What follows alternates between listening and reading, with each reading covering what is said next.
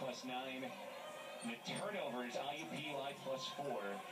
And that free throw percentage where IUPUI is much better than Boston College today. And after hitting seven three-point shots in the first half, the Eagles have only made one. They're down to 40% from beyond the arc. Justice, tough shot, he got it. Cameron Justice has scored 20.